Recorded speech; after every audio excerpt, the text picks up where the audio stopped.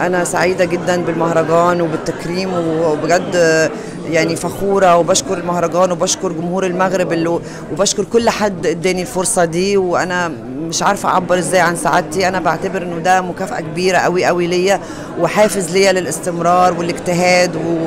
وشكرا بجد يعني.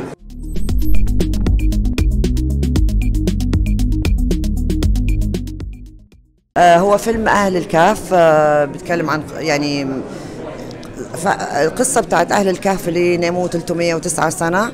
أنا عاملة شخصية أميرة بريسكا عاملة شخصيتين في الفيلم. آه فيلم آه ضخم ومش هقدر أحكي يعني تفاصيله بس معي نخبة كبيرة جدا من نجوم واخراج العظيم عمرو عرفة.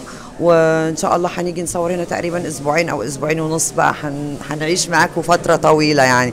فدي من أكتر الحاجات اللي أنا بسطاني يعني. أنا جيت برضو قبل كده صورت كذا بلانكا وكنت مبسوطة. فأنا بحب المغرب. وبعد ما شفت بقى تطوان أنا بقول لهم يا جماعة إحنا لازم نيجي نصيف هنا.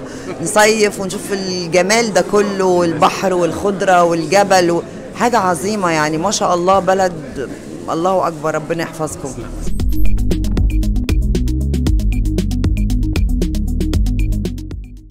الحمد لله وحتى ال ال يعني الحمد لله كل كل البلاد العربية دلوقتي بقت في تطور كبير في في الدراما وفي السينما ودي حاجة جميلة جدا ودي حاجة تخلينا إحنا كمان كلنا نشترك مع بعض ونتواصل بمشاكلنا بمجتمعاتنا بكل اللي فيها. يعني أتمنى كمان إنه ده يفضل ويستمر يعني.